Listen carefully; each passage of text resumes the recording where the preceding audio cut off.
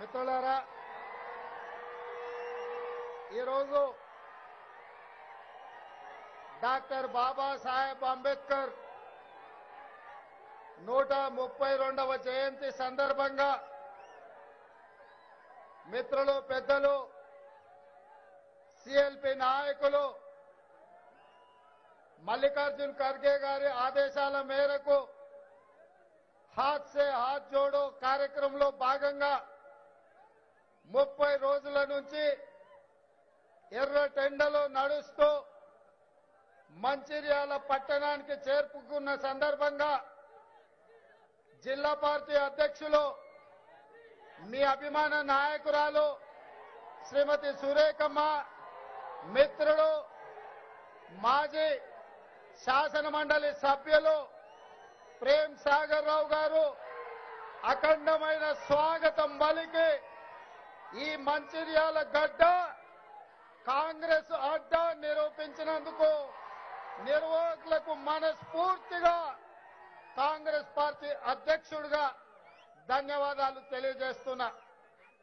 ఈ కార్యక్రమానికి కర్ణాటకలో ఎన్నికలు ఉన్నా జాతీయ స్థాయిలో రాజకీయాలు చాలా వేగంగా మార్పులు జరుగుతున్నా.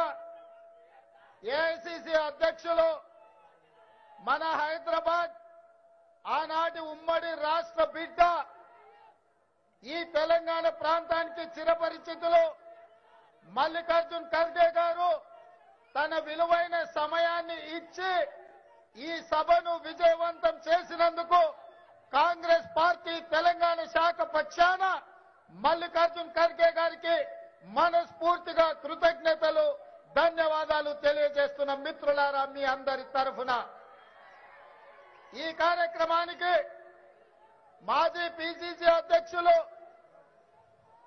అదే విధంగా కార్యనిర్వాహక అధ్యక్షులు పార్లమెంట్ సభ్యులు ఏఐసిసి కార్యదర్శులు అదే విధంగా ఏఐసిసి ఇన్ఛార్జ్ మాణిక్రావు ఠాక్రే గారు అదే విధంగా జిల్లా పార్టీ అధ్యక్షులు రాష్ట్ర స్థాయి నాయకులు జాతీయ స్థాయి నాయకులు అదే విధంగా శాసన మండలి సభ్యులు ప్రాణ సమానులైన వేలాది మంది కాంగ్రెస్ పార్టీ కార్యకర్తలు ఈ సభను విజయవంతం చేసినందుకు మీకందరికీ మనస్ఫూర్తిగా ధన్యవాదాలు కృతజ్ఞతలు మిత్రులారా.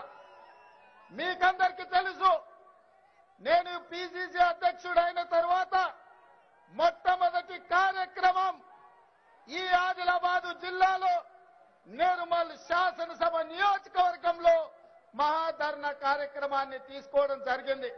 ఆ తర్వాత ఆ తర్వాత పెద్ద బహిరంగ సభ పెట్టాలి.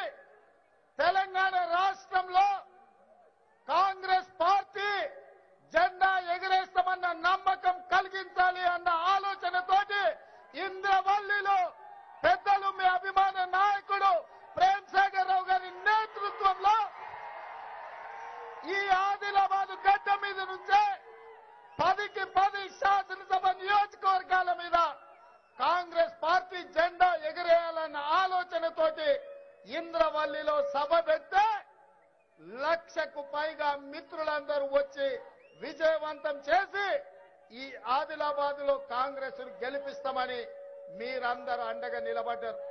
మిత్రులారా మళ్ళీ ఈ రోజు మా మిత్రుడు భక్తి విక్రమార్క గారు సుదీర్ఘమైన పాదయాత్ర చేసుకుంటూ వస్తూ ఈరోజు వారి పాదయాత్రకు అండగా నిలబడడానికి మళ్ళీ ప్రేమ్ రావు గారే నడుం బిగించి ఇవాళ మంచిర్యాలలో ఇంత గొప్ప సభ ఏర్పాటు చేసి నిన్న మన్నా కొంతమంది ఈ పార్టీలో గుర్తింపు గౌరవం వచ్చిన వాళ్ళు ఈ పార్టీలో నుంచి పోయినామని చెప్పుకునే ప్రయత్నం చేస్తున్నారు ఇట్లాంటి ఎండిపోయిన ఆకులు కొన్ని రాలినా ఈ రోజు కొత్తగా చిగురించే కొత్త తరం ఈ ఆదిలాబాదులో కొత్త నాయకత్వాన్ని ఇస్తామని చెప్పి మీరందరు ఇక్కడికి వచ్చినందుకు ధన్యవాదాలు మిత్రులారా.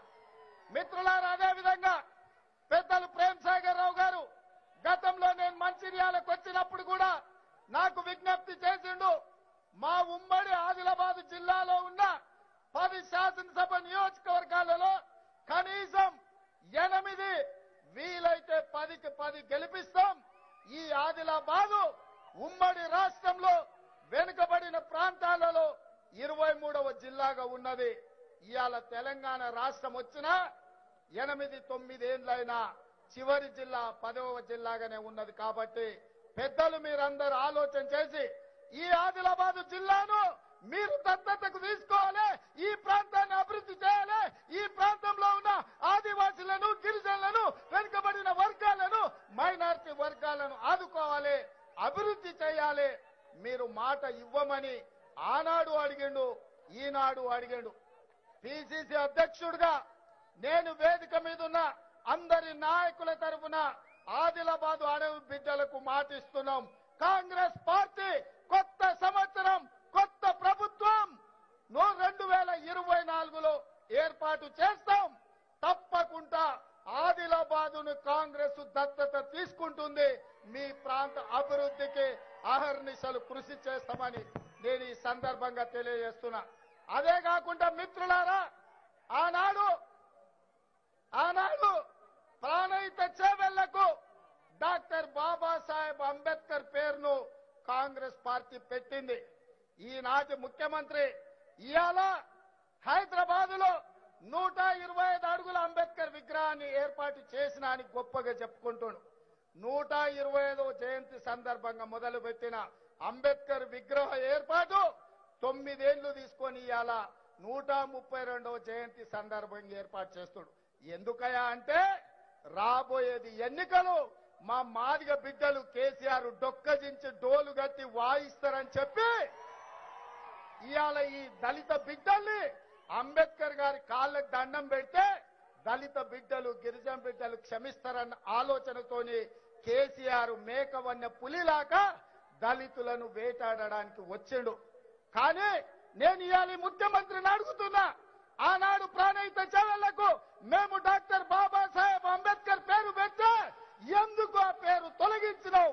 నువ్వు ఇవాళ అంబేద్కర్ సాక్షిగా ముక్కు నేలకు రాసి ఈ ప్రజలకు క్షమాపణ చెప్పిన తర్వాతనే నిన్ను దళిత బిడ్డలు క్షమిస్తారని నేను చెప్పదలుచుకున్నా.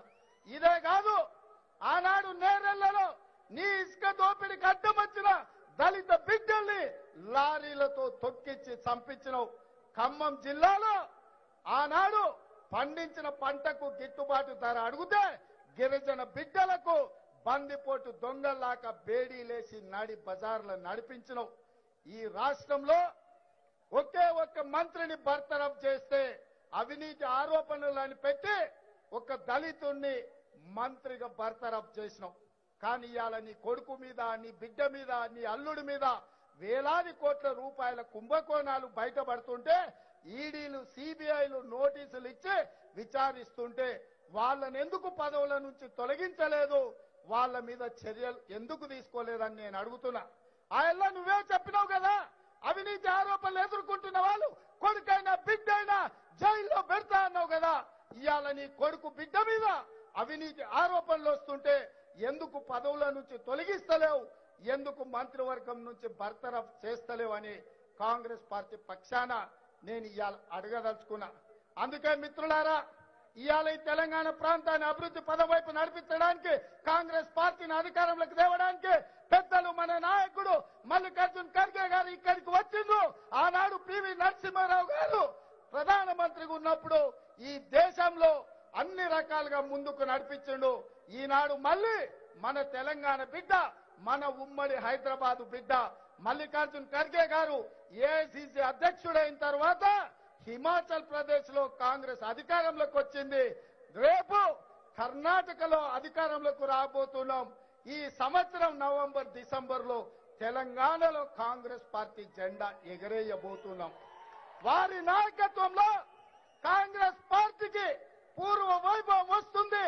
కేంద్రంలో నరేంద్ర మోడీని రాష్ట్రంలో కేడీని పెట్టే వరకు కాంగ్రెస్ పార్టీ కార్యకర్తలు పనిచేయాలి అందుకే మిత్రులారా కొత్త సంవత్సరం కొత్త ప్రభుత్వం కాంగ్రెస్ ప్రభుత్వం ఏర్పడుతుంది. మనం అధికారంలోకి వచ్చిన వెంటనే రైతులకు రెండు లక్షల రూపాయల రుణమాఫీ చేసే బాధ్యత కాంగ్రెస్ పార్టీ తీసుకుంటుంది. అదే విధంగా ఆనాడు పేదలకు ఆరోగ్యశ్రీ పథకం తెచ్చి పేదలకు కార్పొరేట్ వైద్యాన్ని అందిస్తే ఇవాళ నిర్వీర్యం చేసి పేదలను దెబ్బతీసిండు కాబట్టి ఆరోగ్యశ్రీ పథకాన్ని బలోపేతం చేసి ఐదు లక్షల రూపాయలతోని ఉచిత వైద్యం కాంగ్రెస్ పార్టీ అందిస్తుందని చెప్పి ఈ సందర్భంగా తెలియజేస్తున్నా. అదే విధంగా కొప్పుల రాజు గారు ఇక్కడ వేదిక మీద ఉన్నారు. ఆనాడు ఆలబిడ్డలు కట్టెల పొయ్యితోని గొట్టం పెట్టి ఊది ఊది వచ్చి చచ్చిపోతుంటే ఆడబిడ్డల్ని ఆదుకోవడానికి సోనియమ్మ నేతృత్వంలో దీపం పథకం తెచ్చి గ్యాస్ సిలిండర్ ఇచ్చి నాలుగు వందలకే సిలిండర్ ఇచ్చాడు. కానీ ఇవాళ నరేంద్ర మోడీ నమ్మించి మోసం చేసి పన్నెండు వందల యాభై రూపాయలు సిలిండర్ చేశాడు. అందుకే మిత్రులారా ఈ వేదిక మీద నుంచి తెలంగాణ ఆడబిడ్డలకు సోనియమ్మ మాట చెప్పమని చెప్పింది మల్లికార్జున్ ఖర్గే గారి నాయకత్వంలో ఆడబిడ్డలకు మీ ఇంటి దగ్గరనే ఐదు వందల రూపాయలకు సిలిండర్ ఇచ్చే బాధ్యత కాంగ్రెస్ పార్టీ తీసుకుంటుంది. అదే విధంగా తెలంగాణ ఉద్యమం అంటేనే విద్యార్థి నిరుద్యోగ యువకులు. ఇవాళ రాష్ట్రంలో మీరు చూడండి. రాష్ట్ర ప్రభుత్వం పదవ తరగతి పరీక్షలు నిర్వహించలేకపోయింది. రాష్ట్ర ప్రభుత్వం పన్నెండవ తరగతి పరీక్ష పేపర్లు దిద్దలేకపోయింది. రాష్ట్ర ప్రభుత్వం ఇవాళ పబ్లిక్ సర్వీస్ కమిషన్ నుంచి ఉద్యోగ అవకాశాలు ఇవ్వలేకపోయింది. అందుకే రెండు లక్షల ఉద్యోగాలను భర్తీ చేసే బాధ్యత కాంగ్రెస్ పార్టీ తీసుకుంటుందంటే తెలియజేస్తూ ఇప్పుడు పెద్దలు మల్లికార్జున్ ఖర్గే గారు మాట్లాడతారు వారికి మీరందరూ నిటారుగా నిలబడి చప్పట్లు కొడుతూ స్వాగతం పలకాల్సిందిగా తెలియజేస్తూ మీ అందరి దగ్గర సెలవు తీసుకుంటున్నా. కాంగ్రెస్! మల్లికార్జున్ ఖర్గే గారు ఇప్పుడు మాట్లాడతారు.